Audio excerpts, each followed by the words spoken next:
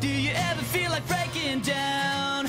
Do you ever feel out of place? Like somehow you just don't belong and no one understands you? Do you ever